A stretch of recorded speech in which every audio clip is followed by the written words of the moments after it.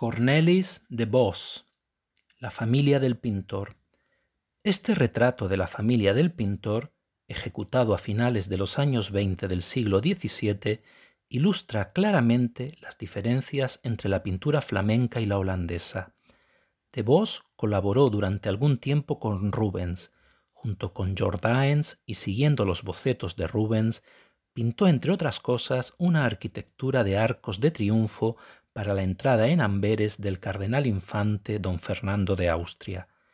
Fue cuñado de Sniders y también un buen artesano y ayudante en los grandes cuadros barrocos del entorno de Rubens. Pero cuando se trata de pintar un retrato de grupo, el verdadero dominio de los holandeses aparecen ciertas dificultades, donde los holandeses matizan, presentando diferencias psicológicas y subrayando las personalidades, de Vos produce una sencilla enumeración. El cuadro flamenco cobra vida por el movimiento escénico, pero al ser forzado a la enumeración se le desposee de su carácter.